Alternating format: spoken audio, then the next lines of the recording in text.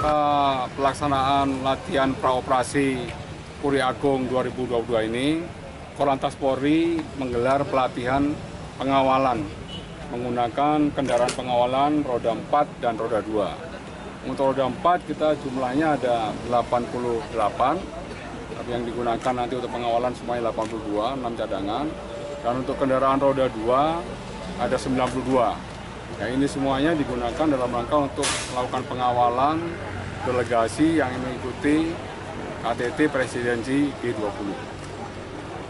Kenapa ini perlu dilatihkan? Karena ini merupakan boleh dikatakan sarana prasarana baru. Ya, oleh karenanya betul-betul unsur keamanan, keselamatan ini menjadi unsur yang paling utama ya baik bagi pengemudi maupun nanti dalam rangka untuk melakukan kegiatan pengawalan.